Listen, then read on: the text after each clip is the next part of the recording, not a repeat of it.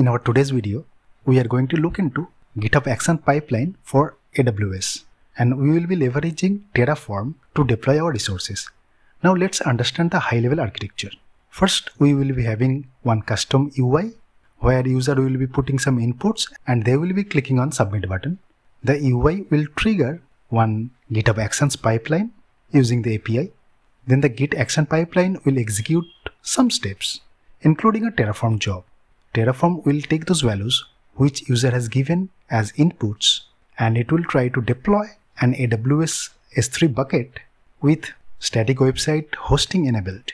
Then the pipeline will have another job to upload our HTML files for that particular website.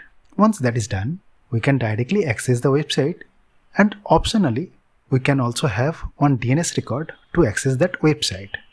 So without wasting any more time, let's have a demo first, then we will try to understand the coding part.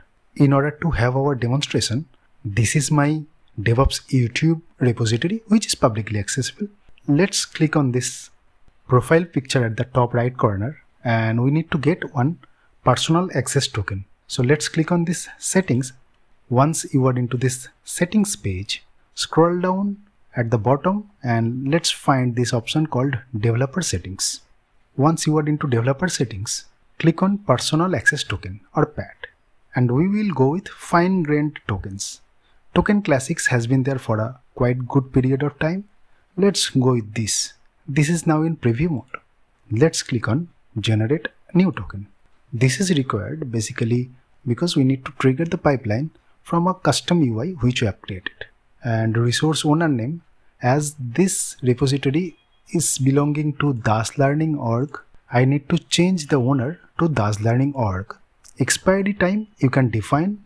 That's 30 days fine with me. Any name? So maybe maybe git episode 2 something like that. And on which repositories you want to give access to this token. So let's go with only selected repositories, the third option. Now click on this drop down. And let's find out as this is a public one, the color is changing, but let's take DevOps YouTube for now. Now we need to give fine grained access to this particular token. So I need to expand this repository permissions, click on this arrow button and actions, click on as you see this is having no access.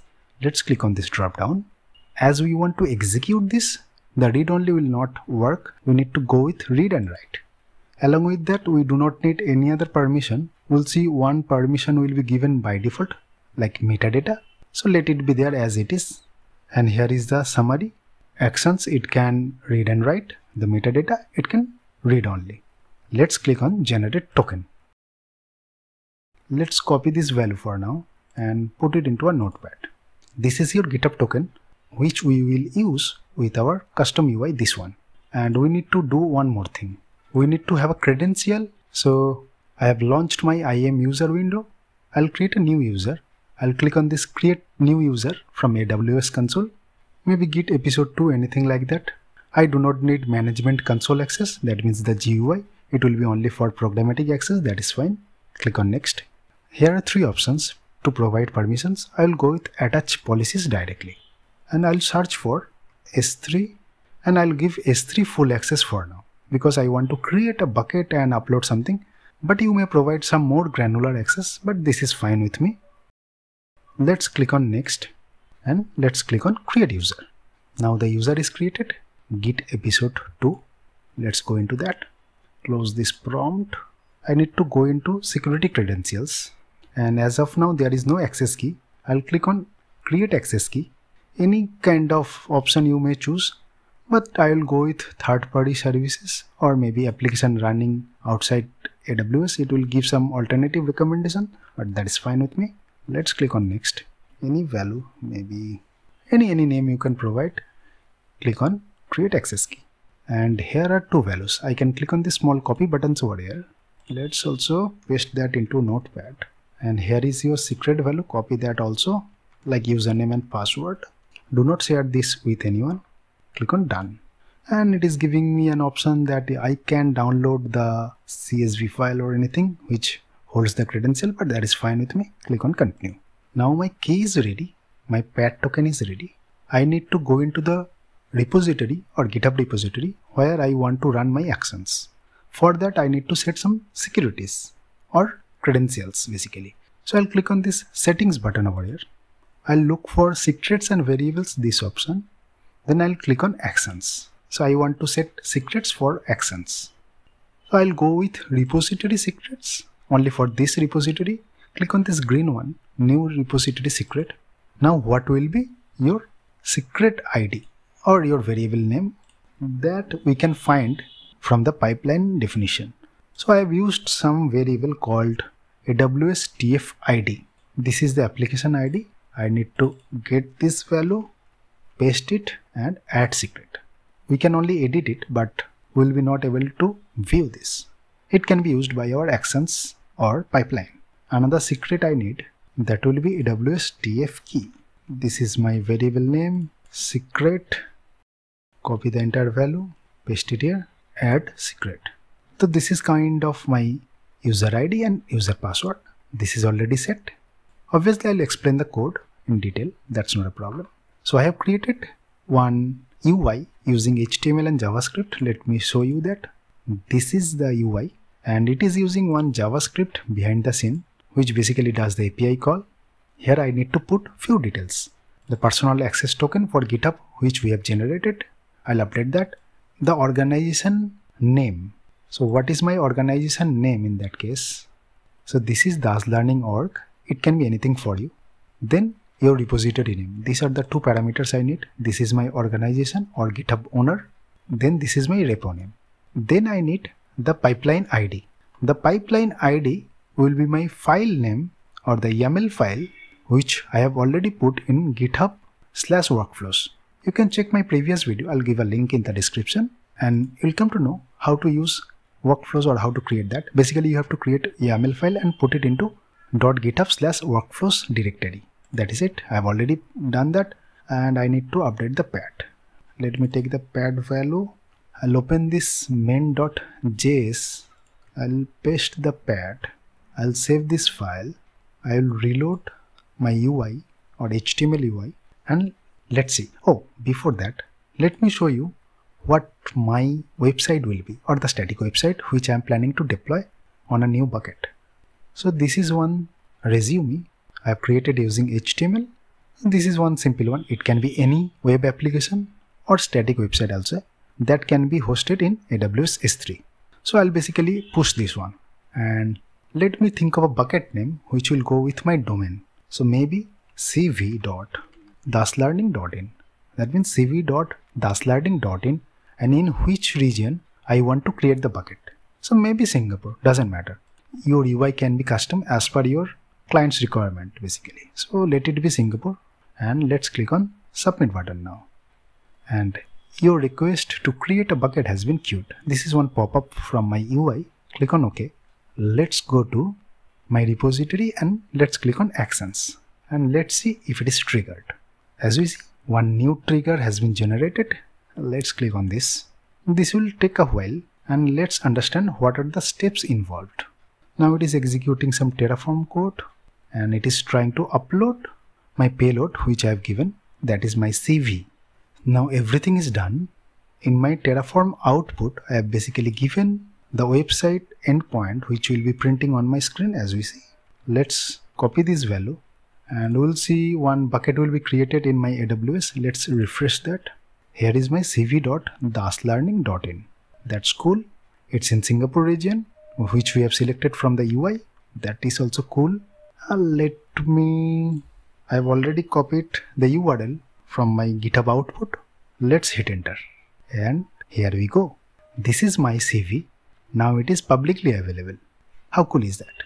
And this UI can be used by any non-technical people if you design that properly. Okay, let us do one more thing. I'll add a DNS record in order to map that with my domain. I'll go to my DNS records. I'll add a new record. For static web hosting in S3, I need to take CNAME record and it can be root also. But as I'm planning to include cv.daslearning.in, so I am going with CV only. Then I need to paste the URL value which we have got from our Terraform job. Let's close this access token window now and if we go here here is our terraform output okay let's propagate that proxy is auto everything is fine i'll just give a comment here any comment this is optional and let's click on save. It will take a while to propagate over the internet. Now it is added. Instead of going into this s3 website which is given by amazon now let's try if we can access cv so this is my domain daslearning.in and i've created the subdomain cv.daslearning.in and let's see. Here we go. Now my cv is available over the internet using my custom domain. This is how we can even map custom domain with S3 website hosting.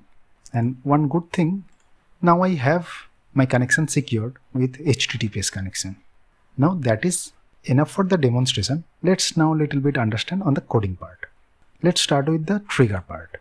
So in trigger basically what we can use, we can use a post to trigger one GitHub action pipeline and some header I am setting it. What will be my data type then authorization, it should be Bearer space your PAT token or the personal access token for your GitHub user which we have created. Then I'm setting up which API version I'm gonna use. I'll put a documentation link also. Then the URL. The URL looks something like api.github.com slash repos, then your owner name or organization name, then your repository name, then actions, workflows, then your pipeline ID or the YAML file, then dispatches. This is your URL. Along with that, we can also pass some data. So data will be ref or reference, whatever your branch you need to trigger. Then another parameter is inputs.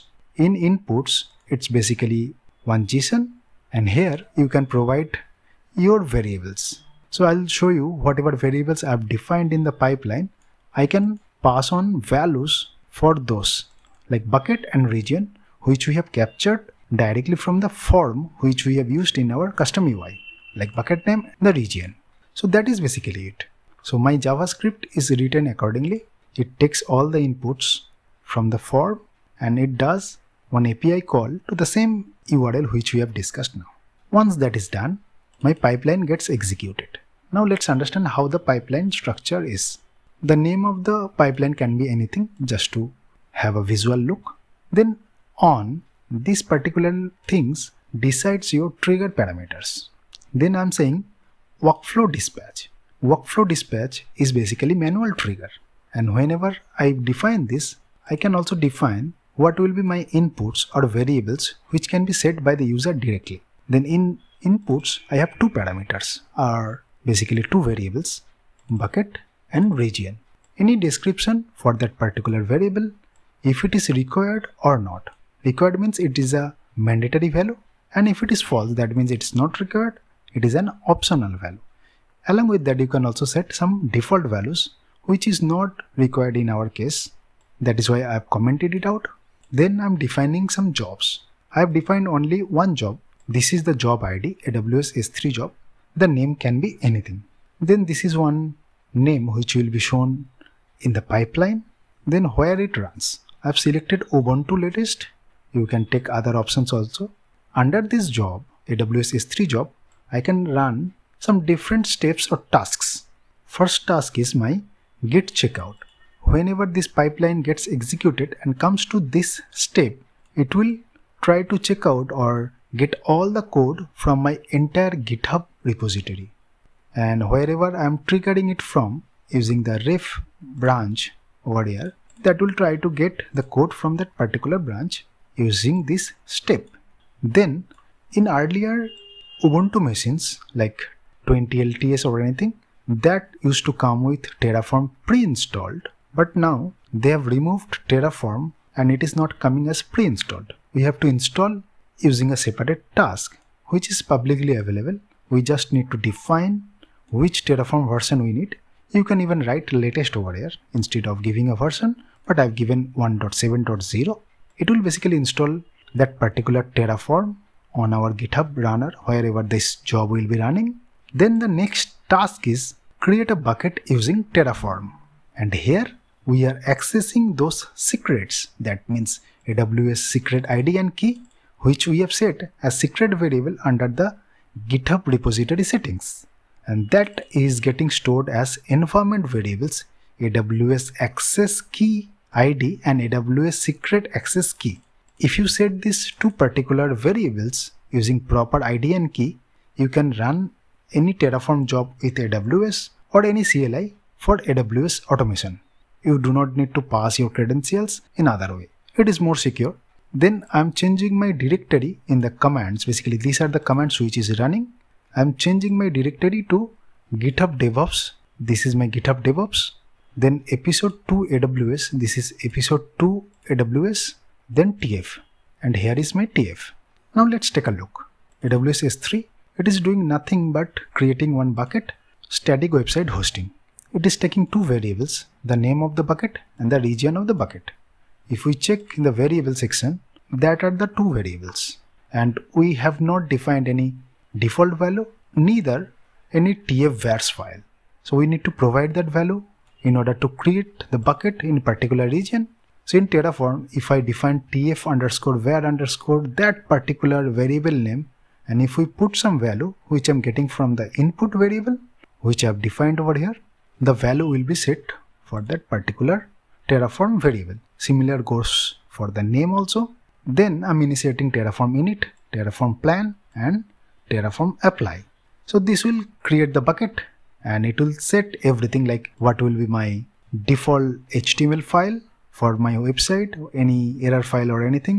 It will apply some policies and so on. You can take a look. I'll give a link in the description.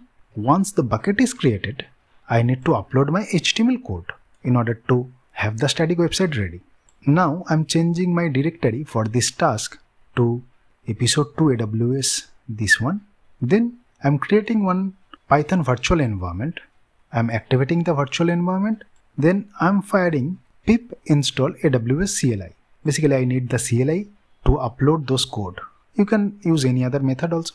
And as I'm using virtual environment, I need to basically set the access ID and key again. So I'm running export command and getting the secret value from the repository secrets. Then I'm firing AWS S3 sync. This is my directory wherever my HTML base CV is written.